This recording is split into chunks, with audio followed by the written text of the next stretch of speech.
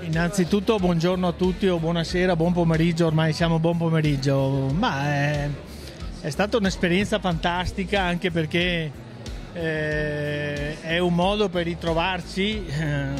anche tra di noi, tra tanti ex campioni, ma soprattutto anche con gente appassionata del pedale perché